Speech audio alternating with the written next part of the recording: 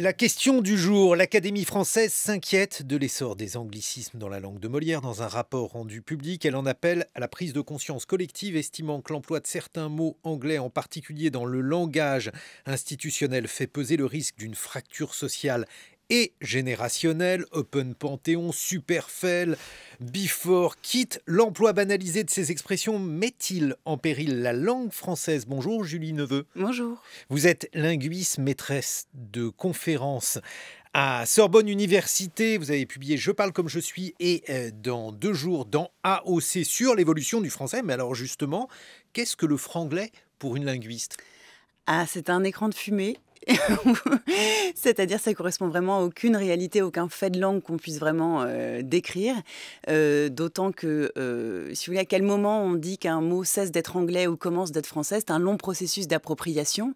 Et en fait, la lecture nationaliste pour un mot n'a aucun sens, c'est un contresens. En fait, le rapport de l'Académie française, qui en effet, comme vous l'avez dit, veut éveiller les consciences, ce qu'elle fait, c'est qu'elle ne fait qu'éveiller les mauvaises consciences, c'est-à-dire créer des, des complexes linguistiques, et qu'elle veut faire autorité alors qu'elle ne comprend pas la matière dont elle parle. Et c'est quand même, je trouve, assez problématique. Alors, quelle est cette matière, justement bah, Une matière vivante, donc. Une matière vivante. Et c'est quoi une langue euh, comment, comment se constitue une langue Comment elle évolue? Elle évolue en puisant, en piochant. Elle prend, elle prend tout ce qui passe. Donc, c'est vrai qu'elle prend beaucoup. Et après ça, vous voulez, le temps fait son effet. Et donc, elle ne garde que ce qui est vraiment pertinent et utile. Et en fait, tous les anglicismes qui sont, euh, enfin, la plupart de ceux qui sont mentionnés par l'Académie française sont évidemment des créations publicitaires qui n'ont aucune vocation à rester. Et elle ne s'intéresse pas du tout à ce qui est la réalité du français parlé et échangé, qui est beaucoup moins empreint déjà de mots anglais. Et ensuite, surtout, eh bien, il y a un jeu, quelque chose de ludique, et donc on prend quand on a besoin, si vous voulez. Donc le Covid, elle, elle cite le Covid dans son rapport, mais le Covid, est-ce que c'est perçu comme un mot anglais? Est-ce que c'est pas une réalité qu'il a fallu nommer et que tous les pays se sont malheureusement appropriés? Donc en fait, si vous voulez, une langue est obligée de nommer la situation et dans sa complexité et dans sa différence. Donc si vous voulez, le problème majeur d'un point de vue intellectuel, c'est que vous allez avoir le rapport qui dit ah il faut se débarrasser de tous les anglicismes et donc on ne parle plus de week-end. Mais week-end, s'il a été retenu, c'est parce que c'est pas la même chose que fin de semaine. Voyez? Et si on garde follower qu'ils conspuent dans leur rapport, c'est peut-être moche, mais c'est que ça correspond à une pratique sur un réseau social, voyez? Ce qui n'est pas la même chose qu'abonné qu'ils proposent. Donc il y a toujours une nuance de sens qui fait qu'on va retenir le mot s'il correspond à une pratique.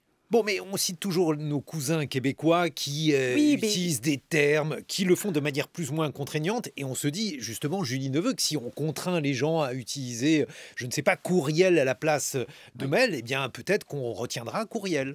Alors, c'est vrai que euh, les Québécois, ils ont une politique euh, linguistique plus réactive et qu'ils la suivent plus massivement parce qu'il y a un enjeu identitaire plus fort. Vous voyez, ils, sont, ils se sentent, euh, ils ont besoin d'exister par différence et ça va être par la langue. Vous voyez Je pas avoir de problème avec nos cousins québécois. ils existent. Non, non, ils ont, ils ont raison. C'est-à-dire, mais nous, l'enjeu n'est pas celui-là puisque culturellement, il y a plein d'autres choses qui nous réunissent, qui nous différencient en fait. Et euh, puisqu'il y a beaucoup de choses qui nous différencient, est-ce que, euh, par exemple, on, ne pourrait pas imaginer un autre usage d'autres emprunts? Parce que, après tout, ce sont ah, surtout des emprunts à l'anglais. Alors voilà, non, mais ce qui est très intéressant aussi, c'est que l'Académie française, suite à donc ce mot franglais et au combat qu'a décidé de mener quelqu'un qui s'appelait donc Étiamble en 1964, qui a inventé ce mot, euh, pour déjà dénoncer l'invasion des mots anglais, il y a, voilà, l'Académie française s'énerve beaucoup sur les mots anglais, et c'est normal, c'est ceux qu'on emprunte le plus en ce moment, mais euh, au XVIe, il y avait déjà des gens comme un certain Étienne, qui était l'imprimeur du roi, et qui, lui, s'offusquait beaucoup des mots italiens. Donc, si vous voulez, selon les époques, on s'offusque de tel ou tel mot étranger, et c'est toujours, en fait, un discours patriotique, si vous voulez, qui forge euh, ce rejet du mot, et d'ailleurs certains linguistes parlent de xénophobie linguistique. Il y a quelque chose de l'ordre de ah, résistons à l'invasion.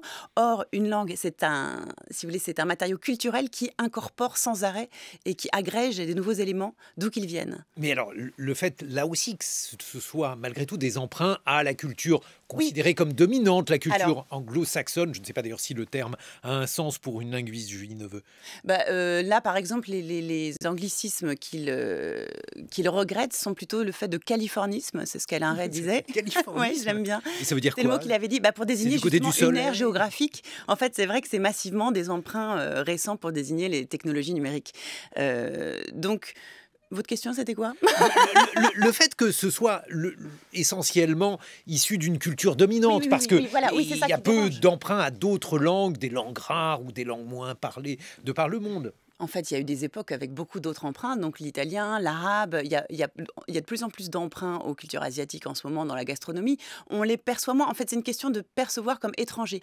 Et ce qui dérange les académiciens, et en ça, D'ailleurs, je ne me, moque- je me moque pas du tout. C'est vrai qu'il y a une forme d'exclusion de ceux qui ne comprennent pas euh, et que ça touche. C'est un problème de génération, mais c'est vrai de toutes de tous les faits qui affectent, qui créent le, fossé entre les générations. C'est-à-dire que les habits, les mœurs, les façons de parler, tout ça crée un fossé générationnel. Et donc, ce que je veux dire, c'est que oui, c'est l'anglais aujourd'hui qui cristallise le plus la fracture générationnelle, puisque c'est là-dedans qu'il y a le plus de jeunes qui travaillent, et qui est donc une langue d'experts, qui fait illusion, et qui exclut ceux qui ne comprennent pas. Mais cela irait-il plus vite euh, aujourd'hui, Julie Neveu, euh, puisqu'on dit que tout va vite, trop vite euh, parfois Est-ce que ces emprunts à l'anglais, ils sont plus nombreux que ceux que l'on observait à d'autres langues auparavant? En fait, c'est la révolution numérique qui fait qu'en effet, il y, a- eu beaucoup d'emprunts là. Ensuite, ce qui se passe, c'est que il y en a qui font partie du domaine professionnel, du milieu professionnel. Et donc, les, locuteurs d'une langue vivante s'adaptent. Et donc, ils vont pas parler comme ça quand ils sortent. Là, le, le discours, le rapport de l'Académie française mentionne toutes sortes d'exemples pris au discours promotionnel, donc publicitaire. Or, évidemment que toutes ces institutions essaient de s'adresser à un public plus jeune. C'est peut-être ça qu'elles veulent dénoncer, qu'elles le dénoncent dans ce cas-là plus clairement, c'est-à-dire que la cible est, en effet un peu restreinte, euh, mais néanmoins, euh, bien sûr que donc il y a beaucoup de mots anglais, mais que ce sont les pratiques, la réalité de cette domination économique qui est en fait le problème de l'Académie française, non pas la langue qui ne fait que refléter cette réalité. Et alors, si on interdisait, ça fait partie euh, de certaines propositions de candidats Oui. à la présidentielle, Ah oui, alors oui. messages en anglais, ce genre de choses, est-ce que ça ne pourrait pas avoir une utilité pour préserver Mais c'est impossible, c'est impossible, c'est un fantasme absolu. En fait, ce que je trouve. En fait, ce que je trouve vraiment gênant, c'est-à-dire que l'Académie française fait un rapport pour dire que c'est préoccupant, les mots anglais, euh, pour l'évolution de la langue française. Donc c'est faux. Déjà, en fait, il y a trois questions. Les trois questions, c'est est-ce que c'est excessif et ridicule tout ce qu'elle cite? Mhm. Oui. Ça, c'est vrai, oui, ça l'est. Est-ce que c'est un échantillon représentatif de la langue française telle que tous les Français la parlent? Non. Est-ce que ça représente une menace pour l'évolution de la langue française? Renon.